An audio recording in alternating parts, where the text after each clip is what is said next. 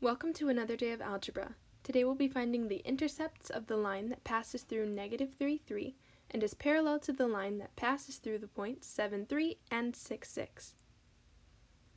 First we're going to find the slope of the line that it's parallel to. So we do 6 minus 3 over 6 minus 7. That gives us 3 over negative 1, which is a slope of negative 3. Since our lines are parallel, our line will have the same slope. We can use this slope and the point we're given in our point-slope form to find our equation.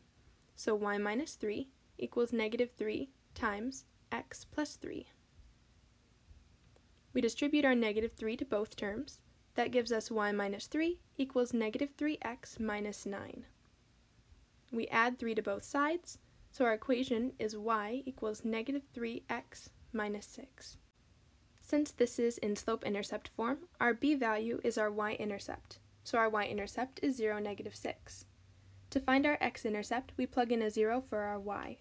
So that gives us 0 equals negative 3x plus 6. We add our 3x to the other side and divide both sides by 3. So our x-intercept is negative 2. Here we can see the line that it's parallel to, and to graph our line, we plot our intercept and use our slope to find points in between, and we connect those points.